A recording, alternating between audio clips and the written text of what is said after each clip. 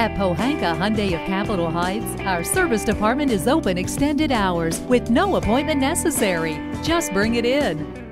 Keep your vehicle running cool by keeping your car's radiator and cooling system running clean. A quick, inexpensive coolant flush can help to keep your car system in tip-top shape. So what about radiator leaks? The older your car, the more likely this can occur. The most obvious indicator of a radiator leak is a low coolant level. Visually inspect yours from time to time to avoid a major radiator repair or damage to the system. Another sign of a radiator leak is a puddle under your car. It'll be a bright neon green color with a slimy look This is ethylene glycol, or antifreeze, that comes out during a radiator leak. It is extremely toxic, so make sure to get it cleaned up and disposed of properly. If you determine that you have a radiator leak, get it checked out soon as you can. It could be an easy fix like a leak in one of the hoses, or something more serious.